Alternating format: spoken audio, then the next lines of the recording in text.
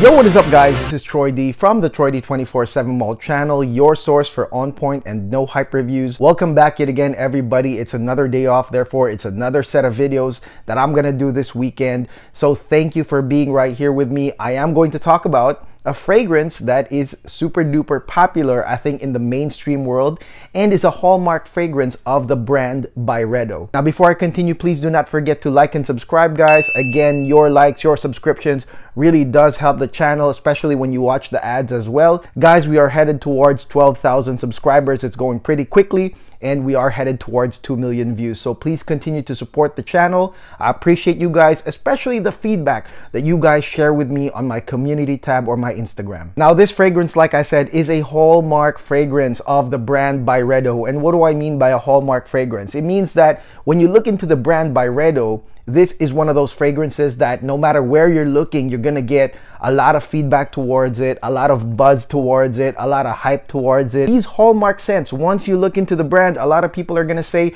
this is my signature scent. This is really worth the hype. This is worth buying a full bottle of. So it's only appropriate that we do a no hype video on these Hallmark fragrances. Now the brand Byredo, in my opinion, is not that big or not that popular in Fragcomm. And I am referring to the Facebook groups Fragcomm as well as the Reddit groups Fragcomm. I don't think it's really that big there. And matter of fact, there are a lot of people in Fragcomm that kind of trash this brand. But in my opinion, this fragrance brand Byredo is huge in the mainstream collecting community. I think that in the celebrity world or outside of Fragcomm, Byredo is huge. The marketing is really great. They've got a very minimalist look to all their bottles. They've got great collaborations. And of course, they've got influencers all around that actually wear their fragrances. And the hallmark fragrance I will be reviewing today is none other than Byredo's Mojave Ghost, guys. All right, Mojave Ghost by Byredo.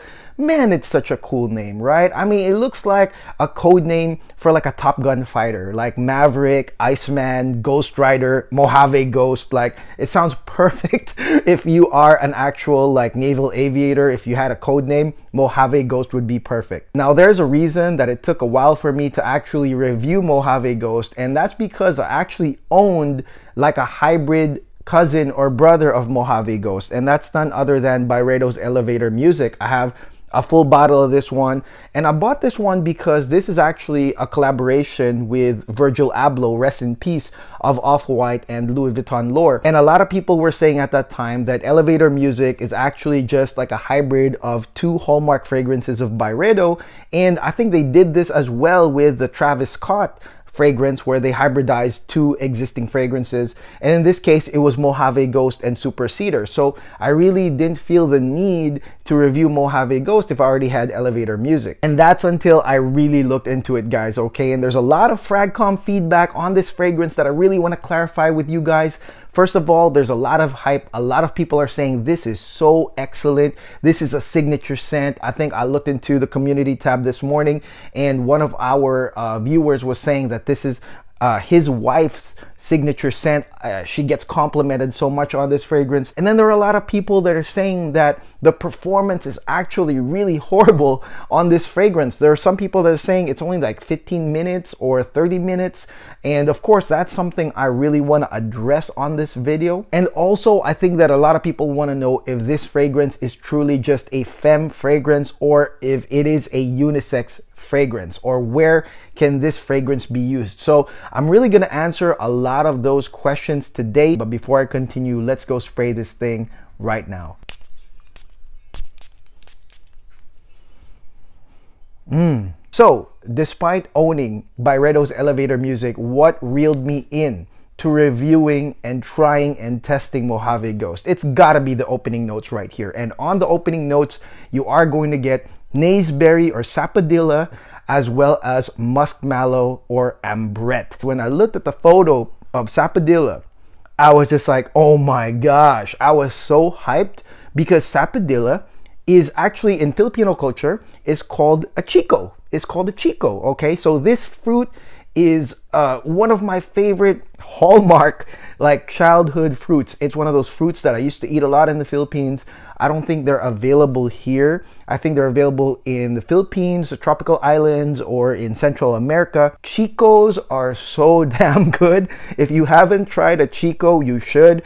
It's a really juicy and wonderful uh, fruit that is kind of soft. It's softer than a pear, like a really juicy pear. It's softer than that, and it does have a unique taste, a unique smell. Now, on initial spray right here, guys, I will say this, that the Sapodilla is not as strong as I kind of expected, okay? So the Sapodilla is there. It provides a smell that is a curve. It's an immediate curve. So it's not going to be like an uplifting and bright uh, initial part. And I thought that I would get a beautiful, strong blast, a powdery blast of this Sapodilla, but actually it's very complementary to the second note that in my opinion is more dominant, which is going to be your ambrette or musk mallow. It's so complementary in fact that it's actually just a sweet musk mallow scent right here from the get-go and it's going to be a curve because there is a musky smell uh, following the sweetness. Instead of just smelling the musk mallow right here from the beginning, it's like that additional fruity smell. And I think that is very likable and it's also the reason why a lot of people are thinking that it's fem. And I agree with some of you guys and gals that say that this could be fem because the sapodilla adds a sweetness that the musk mallow really can't get on the level of because I think that the musk mallow is sweet as well. It's sweet and musky, but it's like a low key type of sweetness right here. But of course, that extra dose of sapodilla just adds a thick dose of sweetness as well. And it may make you think that this is a femme fragrance. Now, a lot of people are calling this fragrance a clean fragrance, and that's because of the musks, guys, okay? And, you know, I've seen some really funny feedback where some people are saying like, you know, if you really want to smell clean, then why don't you just take a shower and cleanse yourself and you're going to smell clean. Okay, guys, let me stop right here. That's not what it means, okay?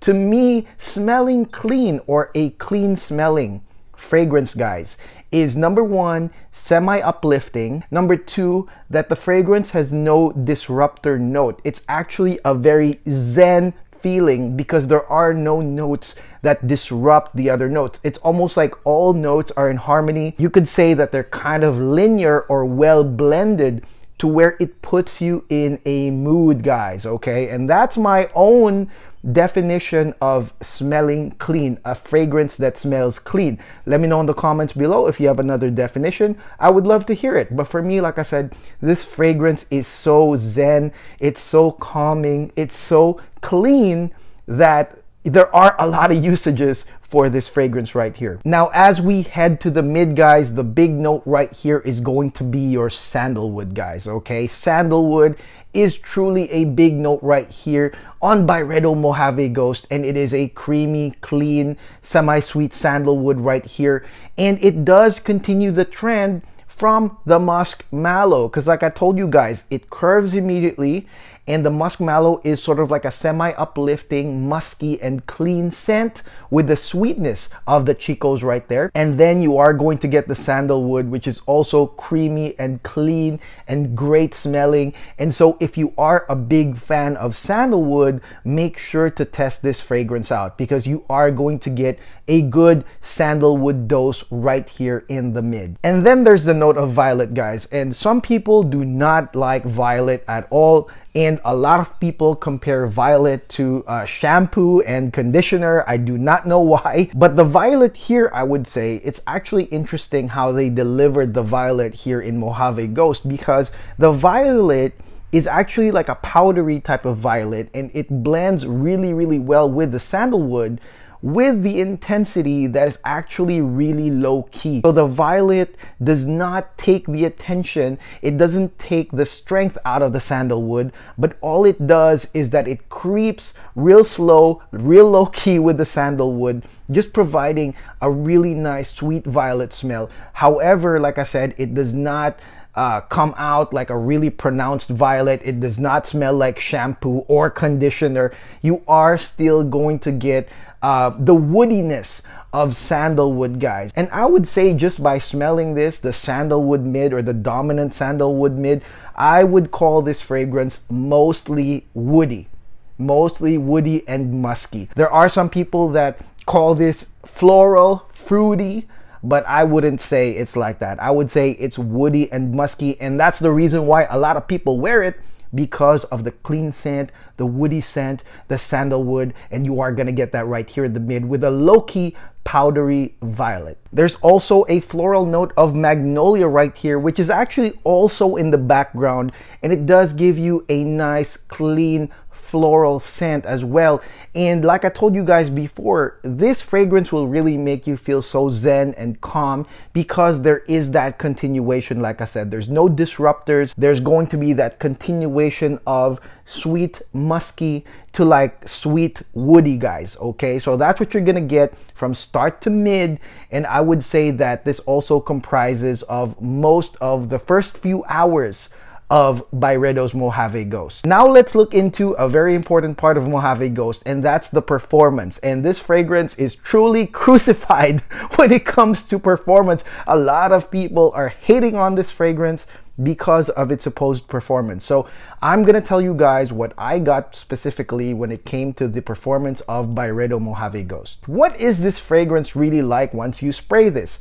This fragrance, to me, is actually a lingering draw in scent. Lingering meaning it's right here, just a few feet away from you, and it is an inviting draw in scent. And what it is not, what it is not is that it is not a projection scent, it is not a scent trail scent, and it's also not a room domination scent. There's something about the Chicos and the musk mallow and the sandalwood that actually makes this fragrance very inviting and the muskiness as well, like I said. And because of that, because of the curve, it can't really be a strong projector in my opinion. Like it would actually defeat the purpose of the combination of the notes. Now, as wonderful as this fragrance is, the thing I've noticed performance wise is that this fragrance is really not that strong. Like when you put this scent against other smells or other scents along the way, I think that those scents or those smells can actually overpower Mojave Ghost. And I think this is why a lot of people say that it disappears within minutes. And the best way I can describe the performance or the way that this smells is that there's almost like a mute button, a mute button on this fragrance. Let me tell you guys an example. So one time I went to like an outdoor mall, for example, and I sprayed Mojave Ghost. And while I was out there, of course, you're gonna get the smells from the food court or other things. You go into a shop and there's scents inside the store. Those can actually overpower Mojave Ghost. And it feels like I pressed the mute button on Mojave Ghost because it kind of disappeared but then when I walked out again into uh, the outdoor area where the wind hit me right there, uh, miraculously, Mojave Ghost went back into action. It's almost like I pressed that mute button and the volume was turned up and I could smell Mojave Ghost yet again. And with that being said, I really think that Mojave Ghost is perfect for a cozy date night, guys, okay? And I'm not talking about that date night where you're just getting to know the person and you're going probably to a mall and the smells of the food court or the food can actually beat Mojave Ghost. I would say this fragrance is more second to third to fourth date where you're actually gonna cozy up. You know, you're kind of getting close to that person you're dating and you're cozying up. Maybe you're watching the last full show of Doctor Strange or whatever uh, movie, and there are no competing smells, guys, okay? And I also think that this is great for work, and I'm talking about office work rather than like field work, I would say. And this is also great for meeting friends, probably for brunch, because of the clean, uninterrupted, musky and woody smell with some sweetness right here. I think that this is perfect for those scenarios, guys. But then again, keep in mind that there is uh, a weakness in this fragrance in the strength department so if you are going to meet people face to face in an intimate scenario, that's the best time and place to wear Byredo Mojave Ghost. Now let's talk about the longevity, guys. This is quite important because like I said, a lot of people are saying this thing disappears in 15 minutes, this thing disappears in two hours. In my opinion, guys, significant scent without any distracting smells uh, this fragrance lasts seven hours. Significant scent. And it works the best outside, guys. It works the best outside where you have wind hitting your skin is gonna be up in the air for sure, guys. Okay, so again, outdoor brunch, outdoor mall, outdoor terrace, or whatever that will work for Byredo's Mojave Ghost. Does it die past the seven hour mark? No, actually it doesn't. It actually goes for probably seven to nine a skin scent but I would say that significantly it's seven hours. And that's with the mute button, like I said, where if there's something more powerful, it might turn this thing off. And then later when it's gone, the other scent is gone, it's gonna go turn back on. Now let's go into the dry down, guys. And the dry down is pretty similar in effect uh, as the first two parts of Byredo Mojave Ghost, it's actually just a callback to the top notes and the mid notes. Same similar feels right there. You are going to get cedar continuing from the sandalwood to continue the woodiness of this fragrance right here. Musk will return right here on the base notes. So it's again a callback to the first part, the musky start of Byredo's Mojave Ghost. You're gonna get musk, you're gonna get clean cedar wood right here, and then you're gonna get vetiver as well. And the vetiver right here is again a perfect addition to the clean musky ending, clean woody musky ending, with the vetiver being semi-smoky and grassy and clean. And so I like the vetiver is right here. And then finally, you're gonna get the amber and the amber right here, like I said, is just a finishing touch. It's just that sweet spot right here near the end because like I told you, there's a certain sweetness right here from start to finish and amber gives that as well. And actually, if you keep smelling this thing all the way to the skin scent where everything is gone, amber to me is the final note, the sweet ambery note right here. The big question is, is this fragrance really femme or unisex? Okay, in my opinion, women will smell stellar wearing this fragrance. And why do I say that? It's because it's a draw-in scent. On top of the actual scent being nice, it's a draw-in scent. And I think, in my opinion, when I smell women walking around with the scent trails, guys, I actually don't like it when women have strong perfumes. Even if it actually smells good, if it's like kind of like invading my space a bit, I kind of don't like that, okay? Like for me, a woman should wear a draw-in lingering scent not like a super attention grabber because you know i think that that matches like a lot of women's personalities where you're not actually being so extroverted about your scent draw them in attract them with Mojave Ghost. I think that this is why a lot of women wear this, okay? There's that element of control with the performance of Mojave Ghost.